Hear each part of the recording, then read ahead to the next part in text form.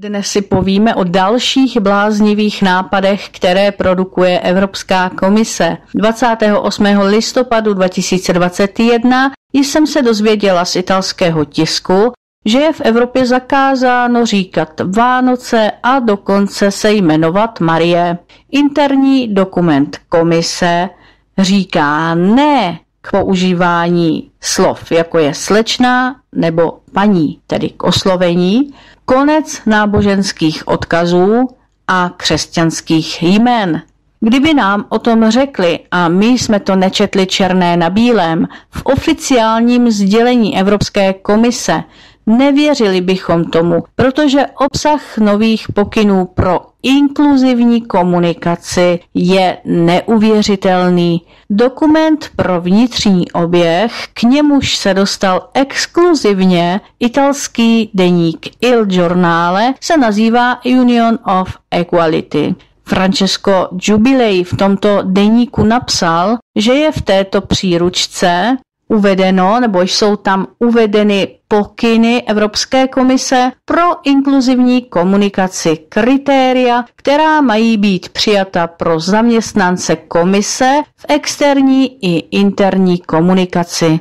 Jak v předmluvě píše komisařka pro rovnost Helena Dalli, musíme vždy nabízet inkluzivní komunikaci, abychom zajistili, že každý bude oceněn a uznán ve všech našich materiálech bez ohledu na pohlaví, rasu nebo etnický původ náboženství nebo vyznání, zdravotní postižení, věk nebo sexuální orientaci. Za tímto účelem Evropská komise uvádí řadu pravidel, která nejen ruší konvence a slova, která byla vždy používána, ale jsou v rozporu se zdravým rozumem. Je zakázáno používat rodová jména jako dělníci nebo policisté, nebo používat zájmeno mužského rodu jako předdefinované zájmeno. Je zakázáno organizovat diskuze pouze se zastoupením jednoho pohlaví, pouze muži nebo pouze ženy.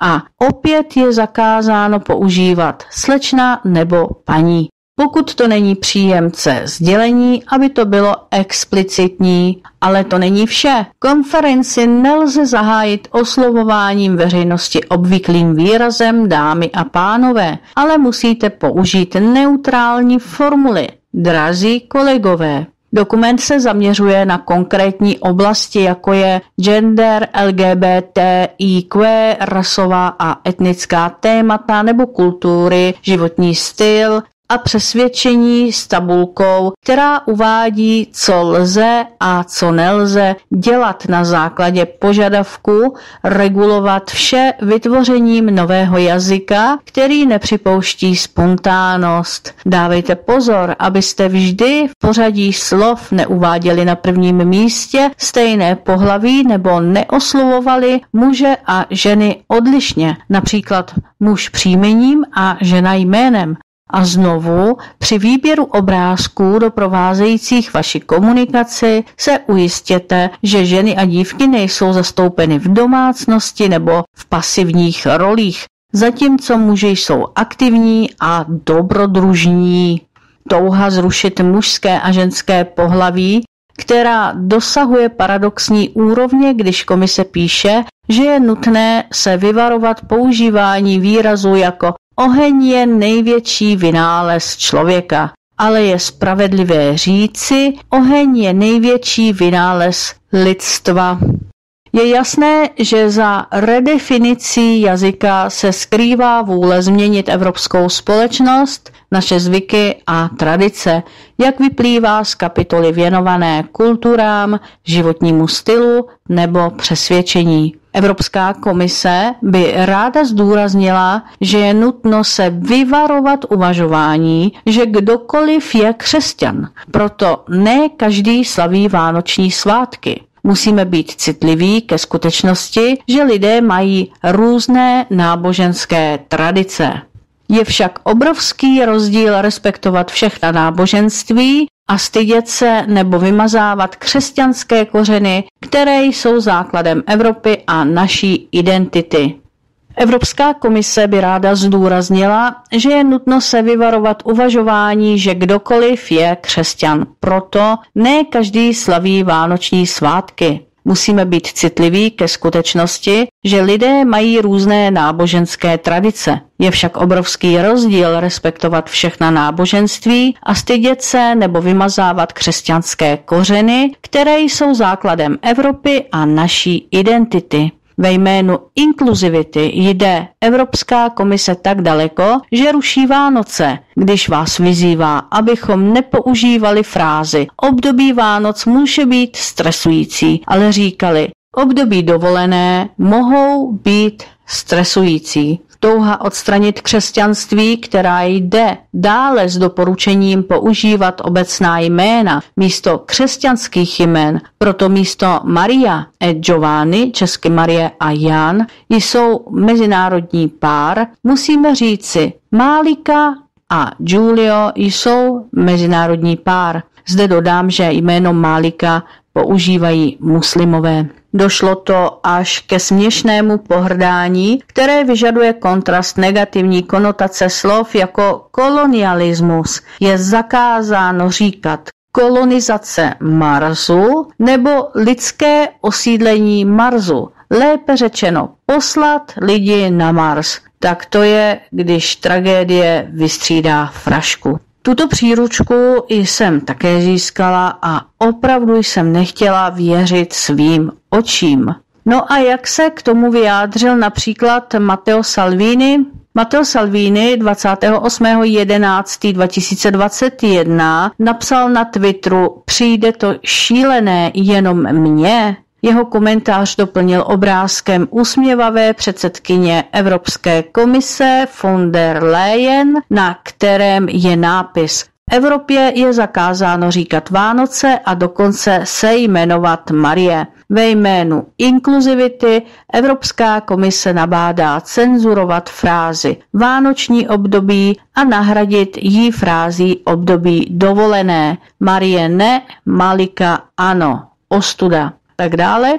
Na obrázku je uveden zdroj Il Giornale. No a pak e, například senátor ligy Simone Pilon 28.11.2022 napsal na Facebooku s výkřikem inkluzivity a respektu dává Evropská komise do oběhu manuál Newspeaku plný sekulárních a LGBT nesmyslů natolik, že naše Boldrína bledne závistí. Tím myslel známou proimigrační dobroláskařku Lauru Boldrini.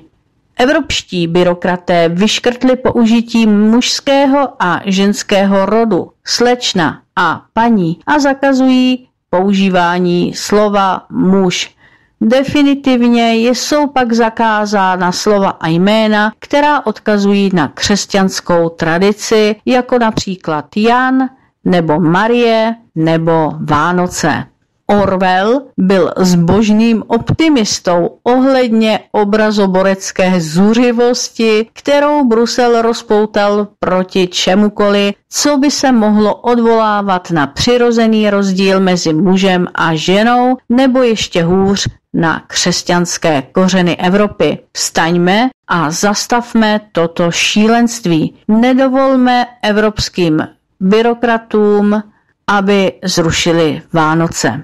Tento politik je velmi známý svým urputným bojem za normálnost a proti navrženému zákonu o homotransfobii, zvaný také jako Zanův zákon. I tento senátor odkazuje v přiloženém obrázku na zdroj Il Giornale. Takže nevím, jestli jste tento případ zaznamenali, ale i když se samozřejmě najdou i ti, co obhajují toto jednání a říkají například, že je to příručka pouze pro zaměstnance, tak my všichni nebo téměř všichni víme, že to vždy někde začíná. Přesně jak se říká, podej prst a vezmou ti celou ruku. Takže je velmi důležité, aby se učinil okamžitý zásah proti těmto praktikám a Tentokrát se to zatím, a později uvidíme do jaké míry, podařilo pozastavit. EU tedy tentokrát ustoupila, co se týče této cenzury.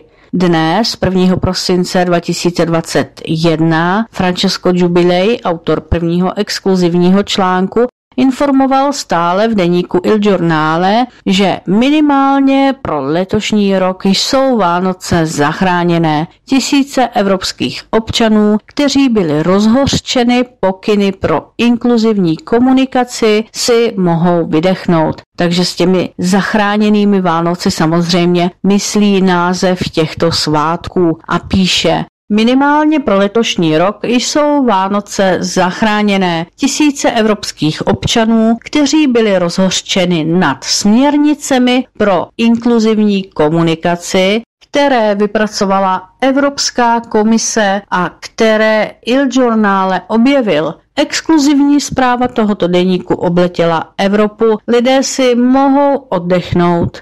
Byla to skutečná politicky korektní příručka, nadspaná řadou paradoxních, ne směšných doporučení, ale bohužel pro nás mimořádně závažných, pocházejících z jedné z hlavních evropských institucí. Včera byla komise po mediálním a politickém tlaku a rozhořčení mnoha občanů nucena ustoupit. Evropská komisařka pro rovnost Helena Dali vysvětlila. Moje iniciativa vypracovat pokyny jako interní dokument pro komunikaci zaměstnanců komise v jejich funkcích měla za cíl dosáhnout důležitého cíle, ukázat rozmanitost evropské kultury a ukázat inkluzivní povahu Evropské komise vůči všem společenským vrstvám a názorům evropských občanů a dodává.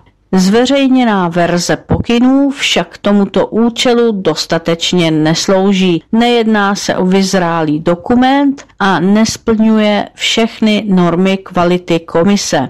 Pokyny jednoznačně vyžadují více práce. Stahuji tedy pokyny a budu dále pracovat na tomto dokumentu. Rozhodnutí, které vyvolalo potlesk lídrů a středopravicových stran. Například lídr ligy Matteo Salvini mluví o vítězství takto. Díky tisícům lidí, kteří reagovali a tím došlo ke stažení této špíny. Budeme i nadále sledovat. Děkujeme. Ať žijí Vánoce, zatímco europoslanci Zany a Camponézy, Zany je předseda skupiny ID a Camponézy vedoucí delegace Lega, vyjadřují uspokojení tím, že oznamují, že je třeba zachovat pozornost zaměřenou na jakýkoliv pokus o odstranění a nahrazení našich symbolů, naší kultury, našich hodnot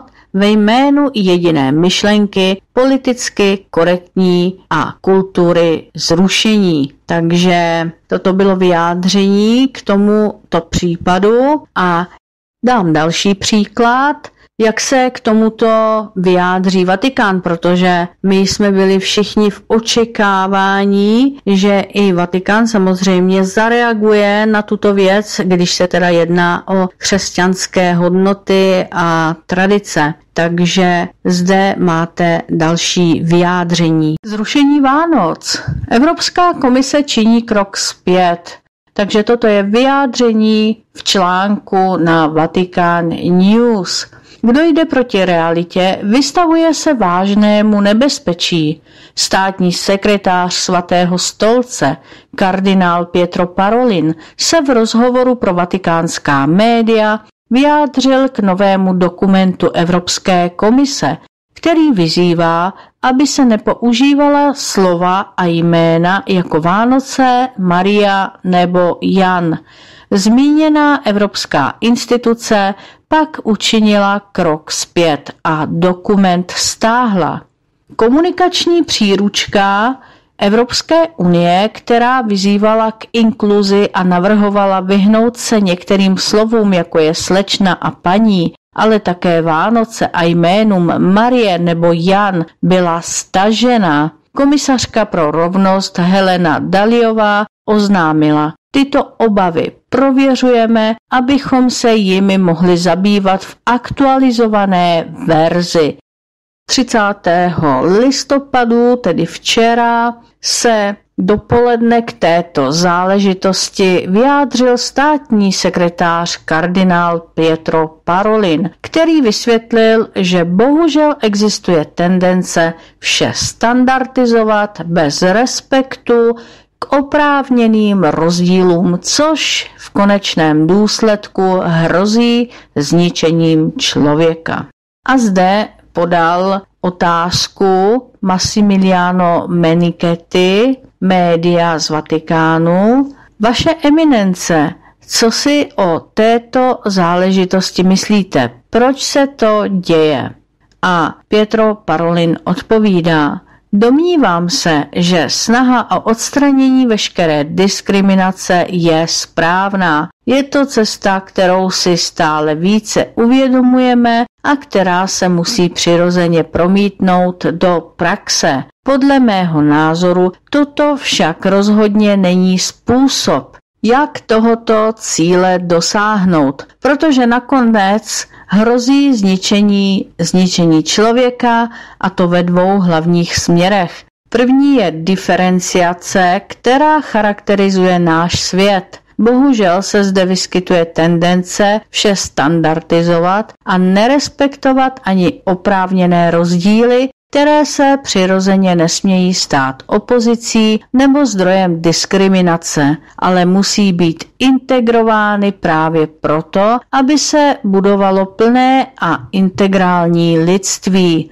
Druhým je zapomínání toho, co je skutečností a kdo jde proti realitě. Vystavuje se vážnému nebezpečí a pak je tu popírání našich kořenů, zejména pokud jde o křesťanské svátky a také křesťanský rozměr naší Evropy. Samozřejmě víme, že Evropa vděčí za svou existenci a identitu mnoha přínosům, ale rozhodně Nesmíme zapomínat, že jedním z hlavních přínosů, neli tím hlavním, bylo samotné křesťanství. Proto ztráta rozdílnosti a kořenů nakonec ničí člověka. Další otázka. Papež se chystá na cestu po evropských zemích, kde kultura, tradice a hodnoty jistě znamenají cestu k přijetí. Přesto existují lidé, kteří pokračují v budování Evropy, která vymazává své kořeny. Ano, odpovídá Parolin. Zdá se mi, že papež také ve videoposelství, které před několika dny adresoval Řecku a Kypru, zdůrazňuje právě tento evropský rozměr, tedy jít ke zdrojům Evropy, opětovně odkrýt její základní prvky. Jedním z těchto prvků je jistě řecká kultura. Papež pak Kypr označuje jako jednu z evropských odnoží svaté země. Zdá se mi tedy, že tato cesta přichází v pravý čas a je to cesta, která nám připomíná právě tyto základní rozměry, které nelze vymazat. Musíme znovu objevit schopnost integrovat všechny tyto skutečnosti, aniž bychom je pomíjeli, aniž bychom s nimi bojovali, odstraňovali je a odsouvali na okraj. Na pokyny Evropské komise týkající se takzvaného inkluzivního jazyka reagovala rovněž Komise episkopátů Evropské unie, ve zkratce KOMECE. V následujícím tiskovém prohlášení Komece vítá stažení interních pokynů Evropské komise o inkluzivní komunikaci v úterý 30. listopadu 2021. Návrh textu obsahoval několik terminologických doporučení pro zaměstnance této instituce EU, jak vést inkluzivnější vnitřní a vnější komunikaci. Přestože respektujeme právo Evropské komise na utváření její písemné a ústní komunikace a oceňujeme význam rovnosti a vystupování proti diskriminaci, nemůže se komece ubránit znepokojení nad dojmem, že některé pasáže z návrhu tohoto dokumentu se vyznačují protináboženskou zaujatostí. Návrh pokynů například odrazoval zaměstnance Komise EU od toho, aby ve svých sděleních odkazovali na vánoční svátky, na výraz křesťanská jména nebo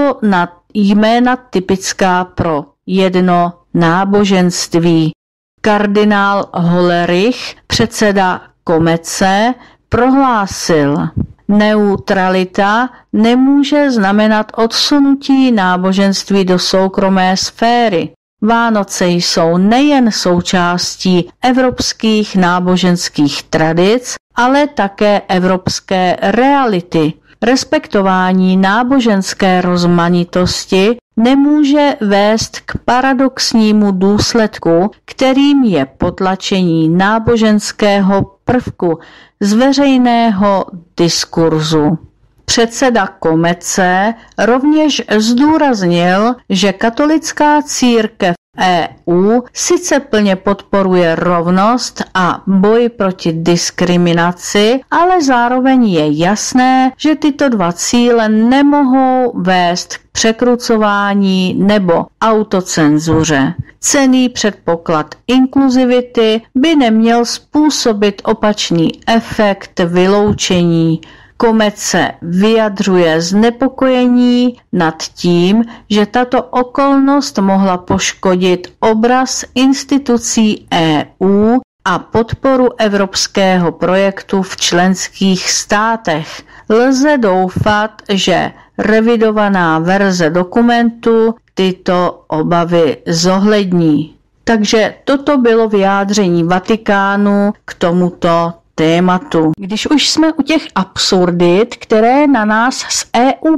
padají, tak například 28.11.2021 Tomio Okamura, lídr SPD, na svém facebookovém profilu upozornil na konkrétní nebezpečí. Evropská unie chce zakázat auta na benzín a naftu. Opatření Bruselu zničí naší ekonomiku. Evropská komise navrhla, aby emise osobních a lehkých užitkových vozidel byly o 65% nižší od roku 2030 a nulové od roku 2035. Jinými slovy, od roku 2035 má být v EU možné prodávat nová auta pouze elektrická a spalovací motory mají definitivně skončit. Celý tento návrh je součástí velkého plánu, takzvaný Green Deal, do roku 2030 snížit kompletní evropské emise CO2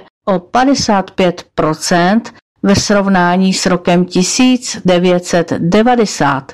Hnutí SPD tuto politiku EU jednoznačně odmítá prosazujeme rozumnou ochranu životního prostředí. Jasně se ukazuje, že energetická koncepce EU a s tím související uhlíková ideologie přímo ohrožuje budoucnost evropských zemí, včetně České republiky. Musíme včas říct ne. V případě přijetí bude toto mít obrovský likvidační dopad na naši ekonomiku a hospodářství, kdy státní rozpočty budou muset napumpovat obrovské finanční prostředky do nesmyslných energetických projektů. Jedná se zároveň o kompletní likvidaci stávajícího autoprůmyslu. Koncept EU se zcela zvrhl a měl skončit u povodního volného pohybu osob, zboží, služeb a peněz. Vše ostatní je zbytečné a je to potřeba zrušit. Hnutí SPD jako jediný relevantní politický subjekt zastoupený ve sněmovně prosazuje referendum o vystoupení z EU. A protože je nesmírně důležité sledovat veškeré dopady z EU, ale samozřejmě také domácí scénu, teď mluvím o mé rodné zemi, tak vám zde pustím převzatý pořad z facebookové stránky Tomia Okamury. Je to záznam z dnešní tiskové konference hnutí SPD, tedy z 1.12.2021. Zde se dozvíte pravdu. Tak vážené dámy a pánové, Dovolte mi informovat, že hnutí SPD navrhne dnes hned na úvod schůze této poslanecké sněmovny mimořádný bod na program s názvem Diskuze o návrhu ministra zdravotnictví Adama Vojtěcha na povinné očkování. Jelikož jsem přesvědčený, že značná část občanů tento krok odmítá a nesouhlasíme s tím také my v SPD. SPD prosazuje dobrovolné očkování.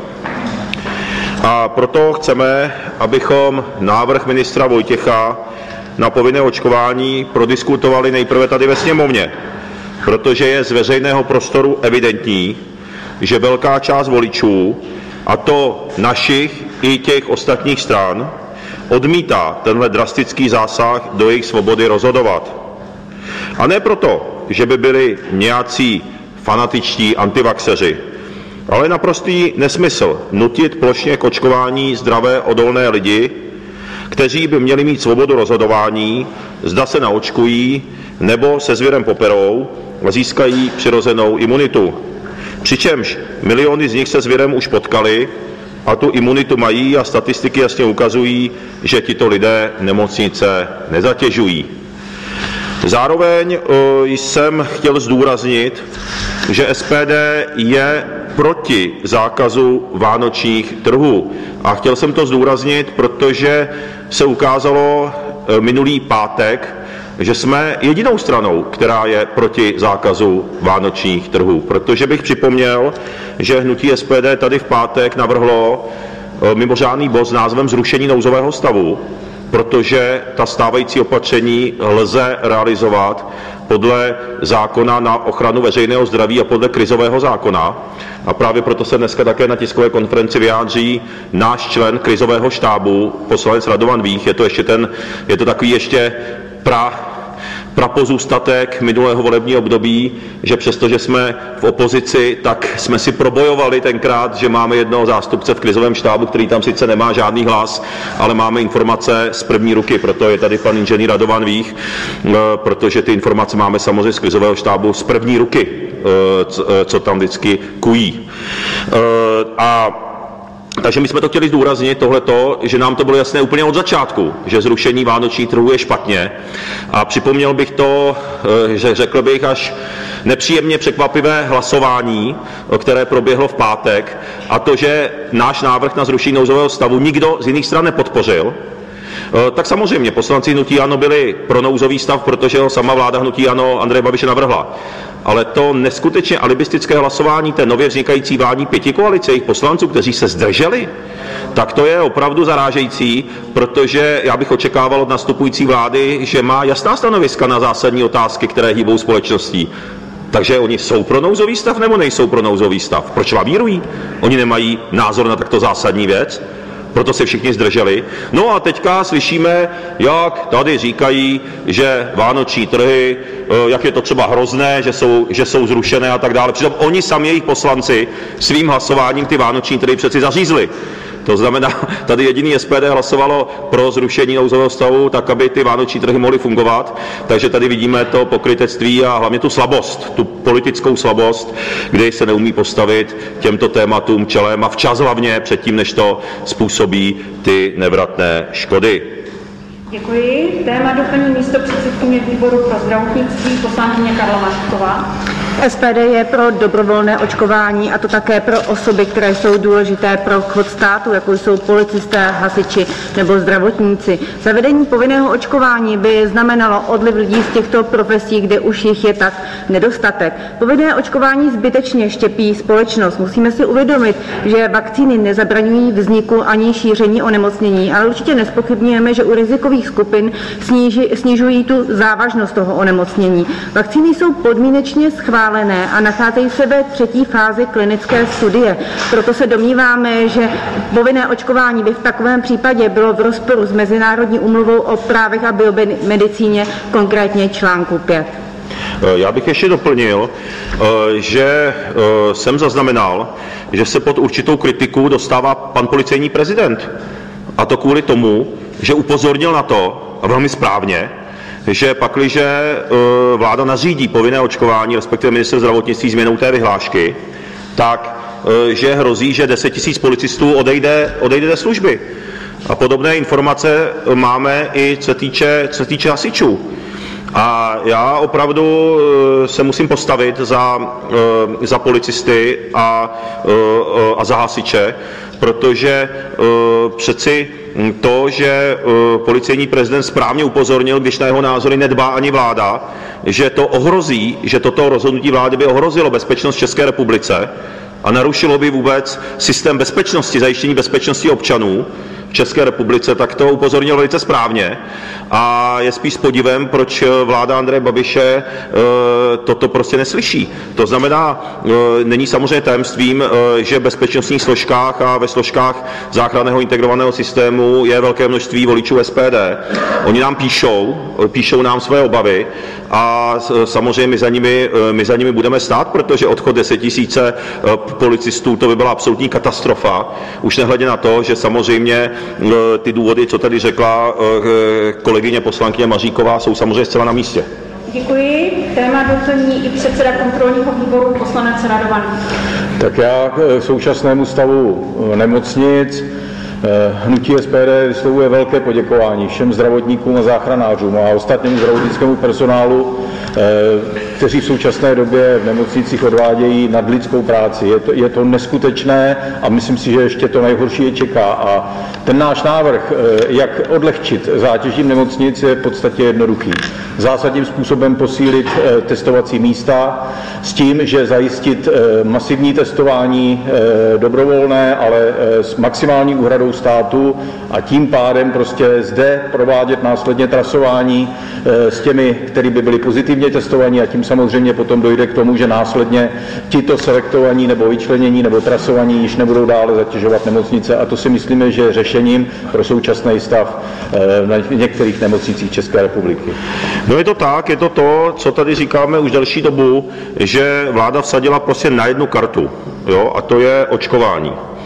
E, problémem ale je, že pak, když se nezapojí všichni občané České republiky do, kontrolu, do toho, aby byli motivováni ke kontrole svého zdravotního stavu, tak samozřejmě těžko může zdravotní systém opečovat, eh, opečovat a eh, kontrolovat 10 milionů lidí. Proto my tady od začátku říkáme, že se má vrátit, eh, vrátit uznávání například PCR testů, ty mají být zdarma, má se vrátit, vrátit uznávání jako dokladu bezinfekčnosti, měly by se uznat protilátky jako ve Švýcarsku. Prostě měla by být maximálně zapojeno všech 10 milionů občanů do toho, aby byli motivováni si taky si kontrolovat svůj zdravotní stav, jako je to u každé jiné nemoci, když prostě někdo má teplotu, když ho bolí hlava, tak taky si, si tu teplotu změří prostě a, e, a už se zajímá o svůj, o svůj zdravotní stav. To znamená, to je přesně to, co tady říká jak naše místo předsedkyně zdravotního výboru Karla Maříková, tak tady e, náš poslanec Vích, který je členem krizového štábu, že je potřeba e, prostě ty možnosti rozšířit, zapojit do toho prostě občany a, a nikoli sázet všechno na kartu očkování, což samozřejmě ve finále, jak vidíme, ani nefunguje. Děkuji. K tématům dnešní schůze se vyjádří místo předsedkyně výboru pro sociální politiku poslankyně Lucie Šatánko. Dámy a pánové, dobrý den. Na dnešní schůzi poslanecké sněmovny jsou na programu tři body a všechny se týkají finanční podpory občanů postižených vládními opatřeními. Ošetřovné, mimořádný příspěvek zaměstnanci při karanténě a kompenzační bonus. Hnutí SPD dlouhodobě podporuje a prosazuje adekvátní finanční podporu všem lidem a firmám, které jsou zasaženy těmito opatřeními. Proto všechny tyto návrhy podporujeme. A chceme vládou předložené návrhy ještě vylepšit, abychom lépe zacílili tuto pomoc. Proto za hnutí SPD předkládám v rámci dnešní schůze poslanecké sněmovny dva návrhy. Za prvé jde o návrh, aby nárok na ošetřovné při péči o děti v době uzavření škol a školek z důvodu vládních opatření anebo nařízené karantény měli i další příbuzní dítěte, kromě jeho rodičů, a to i tehdy, nežijeli s ním v jedné společné domácnosti a jestliže se jedná o nemocensky pojištěné zaměstnance. Velká část našich rodin, zejména pak rodičů samoživitelů, se totiž bez možnosti vystřídat se při péči o děti s jiným rodinným příslušníkem dostává do velmi obtížné ekonomické a sociální situace. Tento stav též vede k tomu, že například ve zdravotnictví chybí mnoho potřebných zaměstnanců právě v důsledku toho, že v případě uzavření škol a školek musí pečovat o své děti. Proto navrhuji rozšířit okruh osob, které budou mít nárok na krizové ošetřovné o nemocensky pojištěné zaměstnance, kteří jsou k dítěti, o které pečují v příbuzenském vztahu přímé či vedlejší linii dle občanského zákonníku. Obdobná úprava platila již v předchozím zákoně o krizovém ošetřovném a byl to návrh SPD, který jsem prosadila v minulém volebním období a který byl účinný do konce letošního června. Nevidíme žádný důvod k tomu, aby tato úprava neplatila i nyní, zejména když našim rodinám velmi pomohla. Za druhé navrhuji v zákoně o kompenzačním bonusu vypustit jakákoliv omezení v přístupu k tomuto bonusu pro společníky SROček týkající se počtu osob, kterými jsou tyto společnosti tvořeny a ponechat zde pouze tu podmínku, že se musí jednat o fyzické osoby, jejichž podíl ve společnosti není představován kmenovými listy. Předložený vládní návrh je totiž opět vůči společníkům meseroček neodůvodněně diskriminační, když omezuje přístup k finanční kompenzaci za vládní zákazy či omezení podnikání jen na společnosti s jedním nebo dvěma společníky. A přitom vládní omezení provozu, obchodu či služeb mají stejně negativní ekonomický dopad na všechny subjekty v příslušných odvětvích podnikání. Jinými slovy, těmito omezujícími opatřeními jsou úplně stejně postiženy restaurace nebo kadeřnictví vlastněné jedním, dvěma či pěti společníky.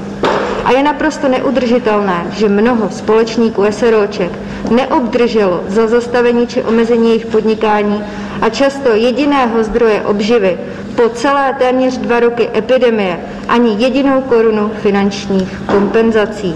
To se v SPD snažíme svými návrhy změnit.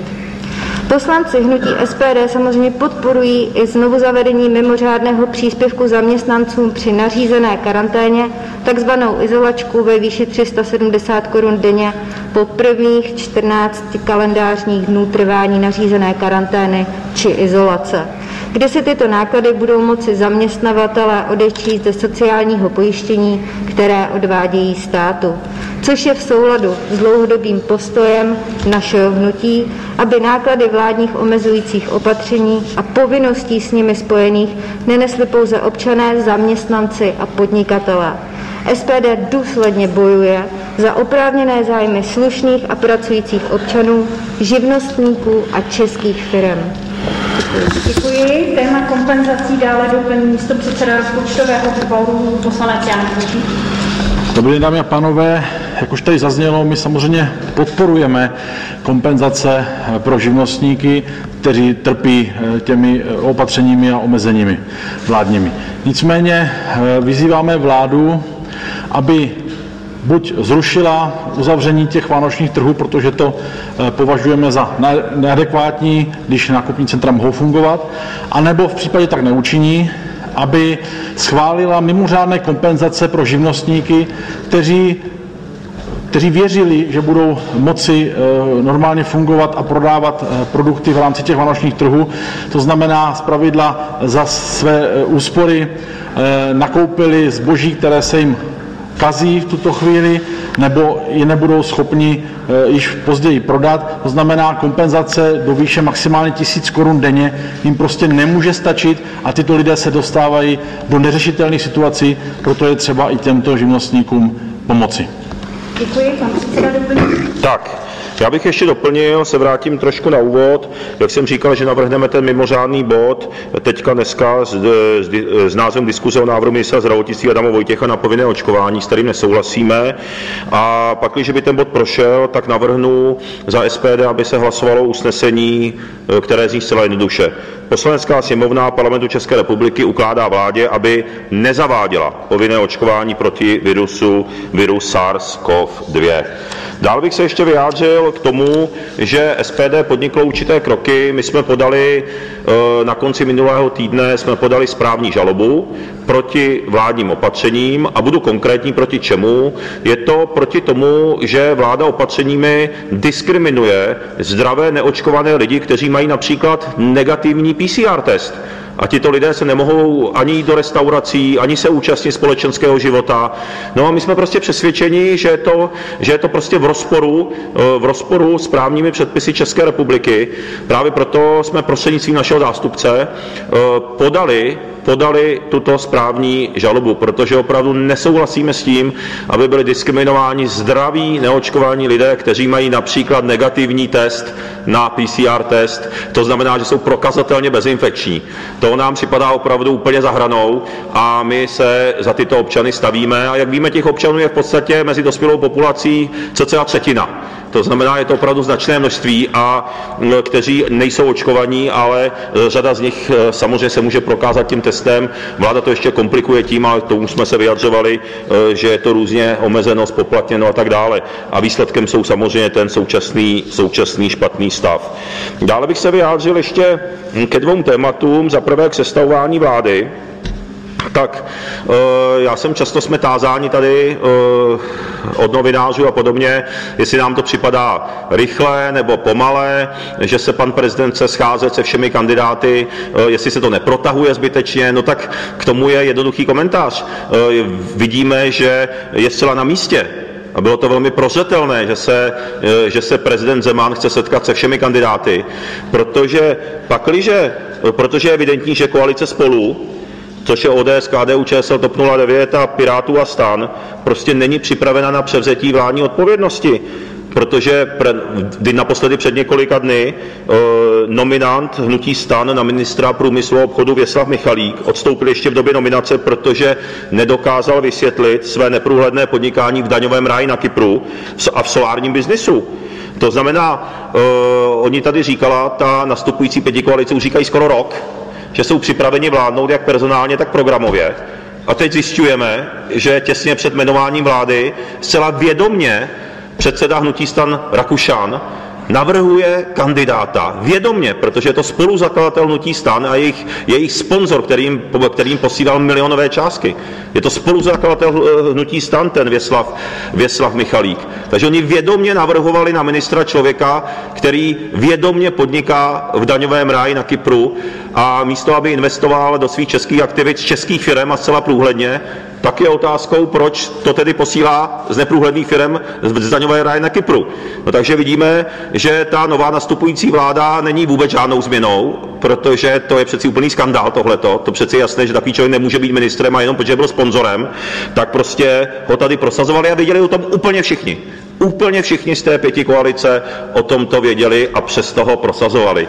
A takové ty výmluvy, že přináší novou politickou kulturu, přeci odstoupil. No kdyby to přeci média nezveřejnili a neupozornili na to, tak by neodstoupil. To je přeci, to je přeci úplně jasné, dostal se pod tlak. No a že prý mu nic nebylo prokázáno, tak pak je otázka, proč tedy odstupuje, když tedy nic neudělal. To je přeci ten dotaz je úplně jednoduchý, protože přeci právě to nedokáže vysvětlit, ani to, ne, ani to nevysvětlil. Takže to jsou prostě řečičky a vidíme, že tady ty problémy opravdu pokračují a že je zcela na místě. Že to, že to urychlení má v ruce premiér Petr Fiala, protože by měl navrhovat adekvátní kandidáty, kteří nemají prostě, kteří mají prostě jasné, jasné pozadí.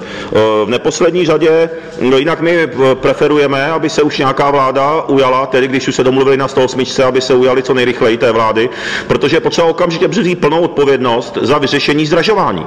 Nejenom situace kolem covidu, ale i zdražování. A obojí zatím chybí v tom avizovaném vládním prohlášení. To znamená dvě nejzásadnější témata, který, v podstatě dvě témata, která nejvíce zajímají dneska občany, to bez zesporu, tak vládní koalice v prohlavovém prohlášení e, lavíruje a nenabízí řešení. Takže to opravdu nevěstí vůbec nic dobrého.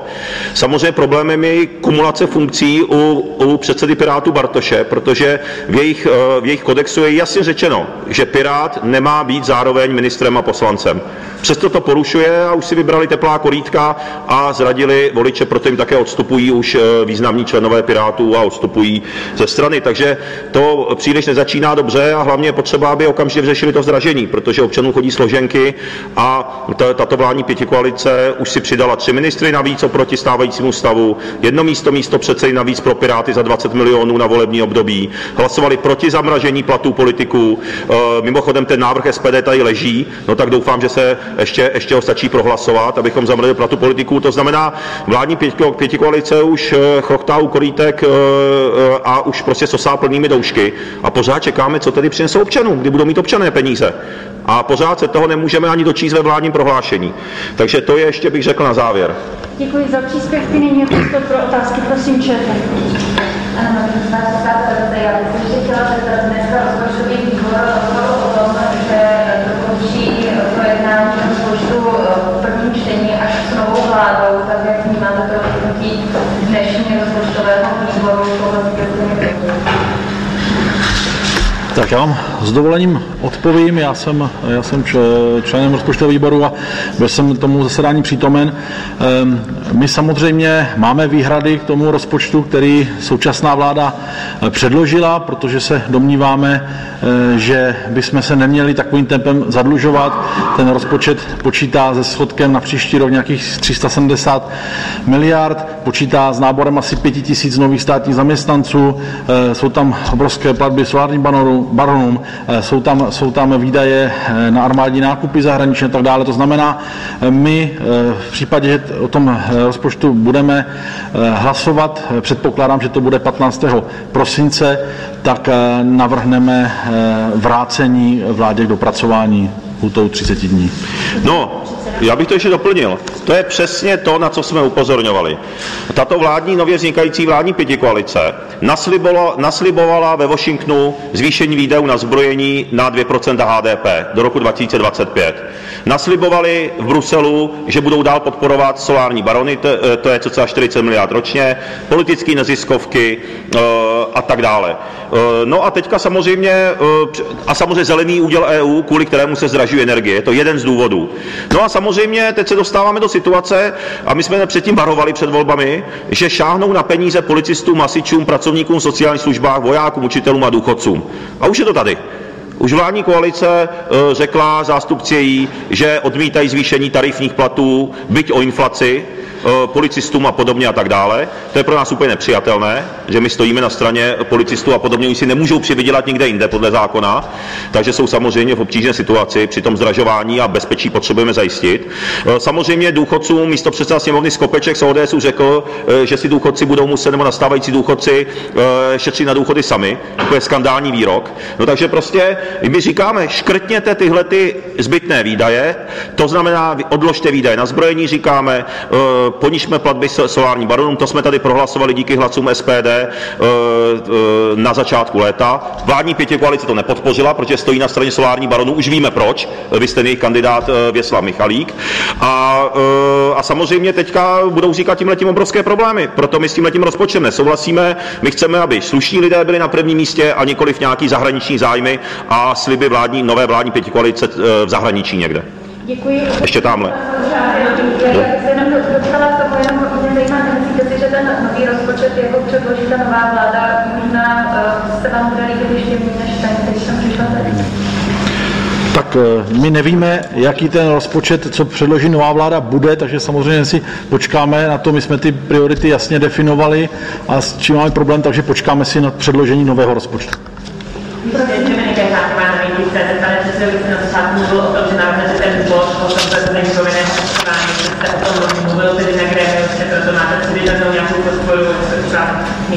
o tom, že No tak, eh, gremium dneska nebylo, dneska byl jenom organizační výbor, jo, jako takže eh, na gremiu o tom prostě nebylo možno hovořit.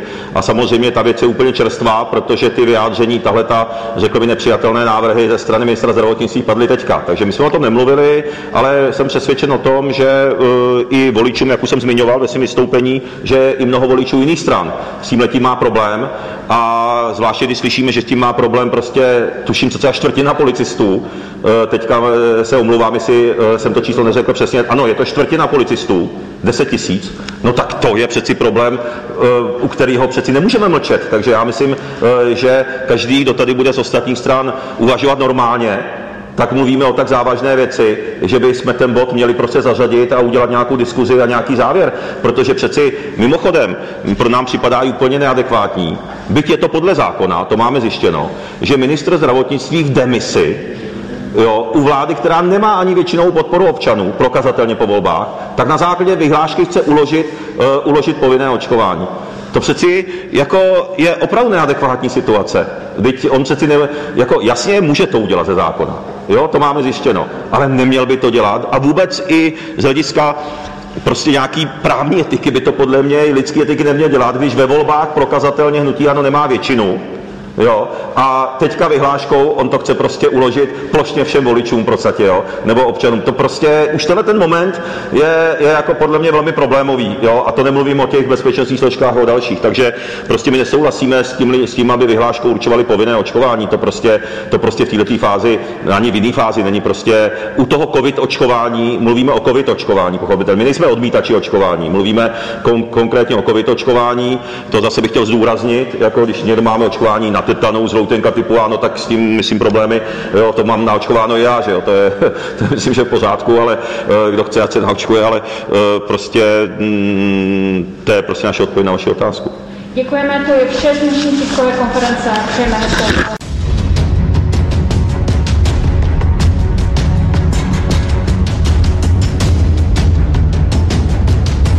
A to je pro dnešek vše, takže já se s váma loučím, děkuji vám za přízeň a na příště naslyšenou.